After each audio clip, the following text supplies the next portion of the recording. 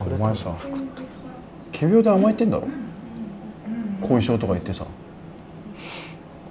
そもそもさお前これかかったらさ保険金もらえんだっけ？だったらかかった方がマシじゃん。羨ましいわ。ひどいは？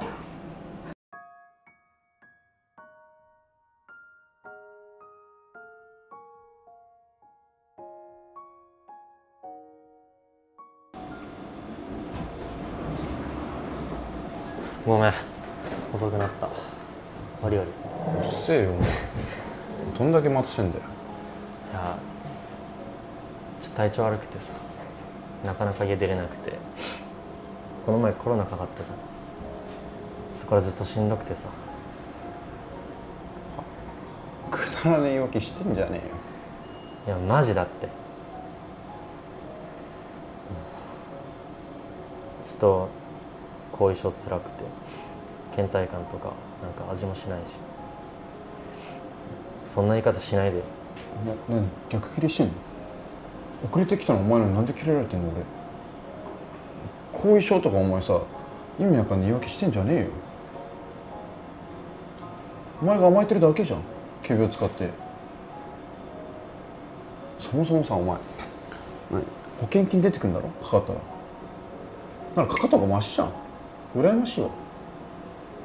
ひどくね？あ？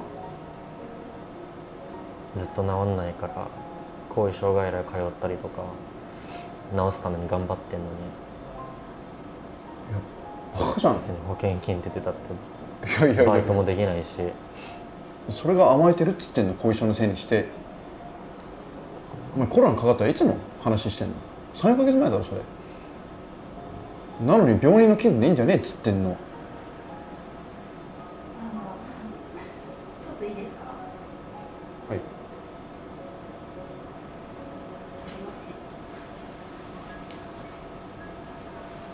すいませんちょっと言い方きつくないですか？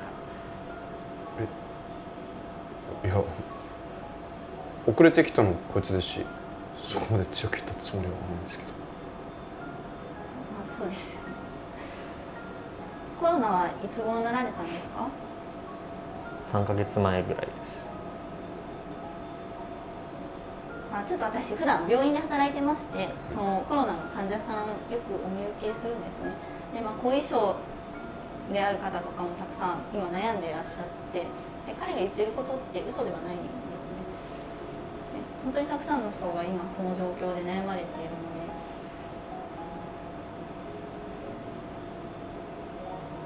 まあこういう時期って周りの協力やサポートがすごい大切なんです。日常生活取り戻すために彼も外来に行ってすごくコロナの後遺症外来ですよね通われてて。そうですね。すごく大変な時期だとは思うんですけど。すいません急に話しかけてしないです。そうですね。なのでなんて言えばいいんですかね。まあそのお友達であればその今は そういう時期なんだなと思ってあったかく見守ってあげてほしいんですね。その優しい言い方してあげてほしいんですでプレッシャーとかストレスも今ちょっとこうやってかかるような言い方されちゃうとその今は平気そうに彼も冗談のように笑ったりはできるんですけどお家に帰った後にすごい倦怠感が出たりすることもありますし。そうですね、なのでちょっと気をつけてあげてください、すいません。お大事になさってくださいね。ありがとうごめんなさい。二人で会話されているとこちょっと邪魔してしまって申し訳ないです。すいません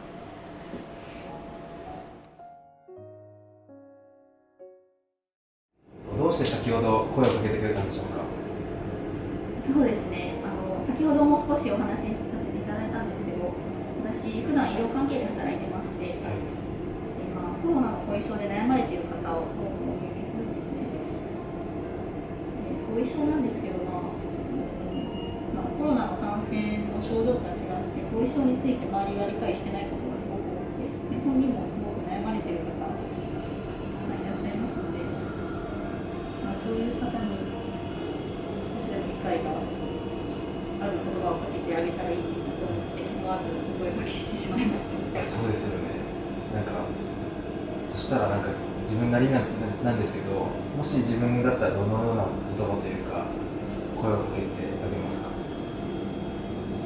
まず一番大切なのは患者さん本人を責めない。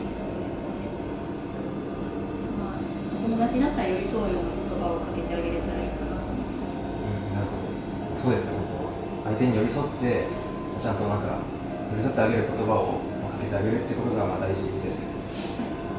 そしたらもう最後に、えっと視聴者の方いらっしゃるんですけど。視聴者です。そうなんですよ。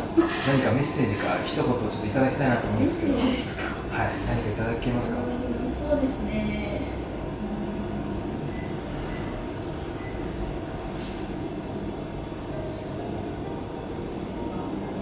コロナで悩まれている方はたくさんいると思いますけども、まあ、後遺症で悩まれてて日常生活取り戻したい方たくさんいると思いますが、まあ、そういう時周りのサポートすごく大切なので寄り添って優しい言葉をかけて見守ってあげてください。わかりました。ありがとうございます、はい、すみません。ご協力いただきましてありがとうございました、ありがとうございます。あーごめん。待ったよね。ごめんごめん。うっせえよお前。どんだけ待たせんだよ。いやごめん。ちょっと体調悪くてこの前コロナかかったじゃん。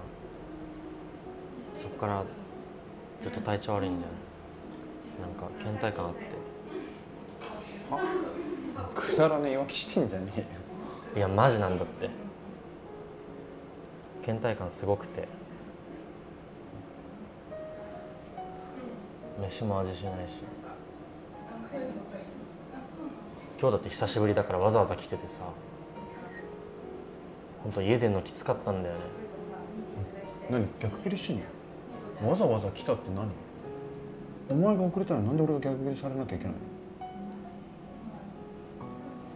お前さ仮病で甘えてんだろ？後遺症とか言ってさ。そもそもさお前これかかったらさ保険金もらえんだっけ？だったらかかった方がマシじゃん。羨ましいわ。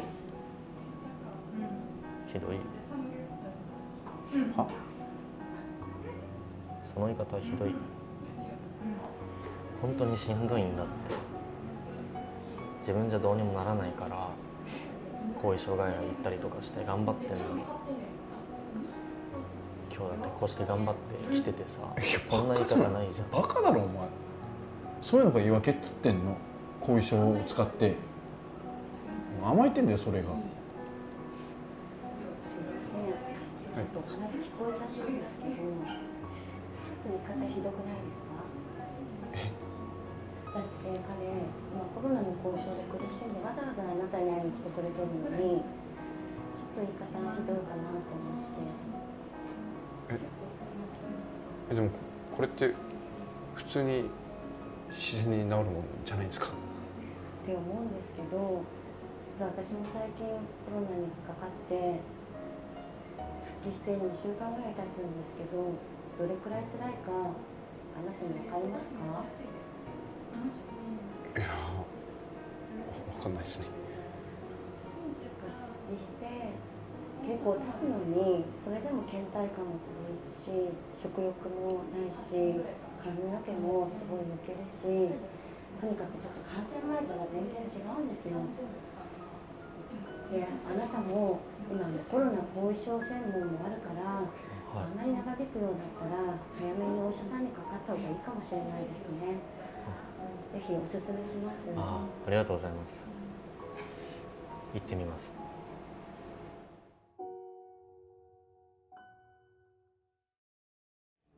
どうして先ほど声をかけてくれたんでしょうか？はい、あの私自身も最近コロナに感染しまして、であの筋肉痛のような痛みですとか、発熱ですとか、あとうつと近い熱も続いたり、一人で何もできない状態が続いたんですね。で本当にすぐに熱も下がって元気になればいいんですけど、で彼のようにコロナ後遺症なのかなと思って、ちょっとネットで調べてたんです。そしたらあのコロナ後遺症にはさまざまな症状があって、なんか私なんかよりもずっと深刻に悩まれてる方なので、そういう時に必要なのって、やっぱり身近な方の理解とかなって思うんですよね。本当そうだと思います。なんか一番なんか理解してくれる人がそばにいてくれたらまあ強いですよね。なんかちなみにその先ほどそのコロナ後遺症の専門家のなんか話をされてたと思うんですけど、その情報っていうのはもともと知ってたりとか、なんかそういう感じですか？でなんかもうコロナ先週先ほどもねなんか言ってたんですけどなんかいろいろ思い当たるところもあってでいろいろネットで調べてみたんですね。はい。はい、そしたらめっちゃたまたま出てきましてであの見ていただけるななと思って受診させていただきました。なるほどですね。なんかまあなったからこそわかるっていう感じですよね。そうですね。まあアドバイスというか。そうですね。ありがとうございます。そしたら最後に動画を見てる方、視聴者がいらっしゃるんですけど、何かメッセージというか、一言いただければと思うんですけど、何かいただけますか？そうですね。今ってコロナ感染者があの増えてるじゃないですか。はい。